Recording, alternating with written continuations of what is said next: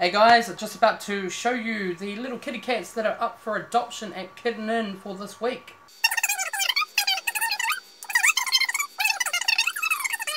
But anyways, here's a little showcase of what to expect this week.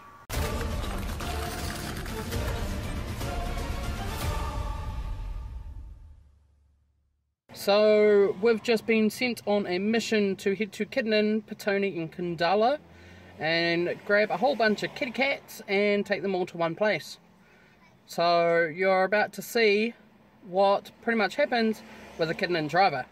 So, we've got another driver that's picking up from Petone, which is definitely a huge help considering it's almost quarter past five. So, we're heading up to Khandallah Vet. Uh, traffic seems to be alright uh, don't know how many we are picking up from Khandallah, but we are picking them up and taking them to the inn and then collecting the ones from Petone, Khandallah and the ones from the inn, all from the inn. Obviously we'll have the ones from Khandallah. And taking them over to another volunteer's place. So just been to Kitten Inn it's safe to say that my car is now full of cats. Danny's got one on her leg. Yep. I've got these ones that you can see in the back. And now the last leg of our journey, while they're hissing and meowing at each other, is to take all of the little kitty cats to Riverstone and Upper Hutt. And that's that. Five cages gone off to a temporary new home ready for adoption. Dun dun dun. And this has been pretty much what you do if you want to be a driver for Kitten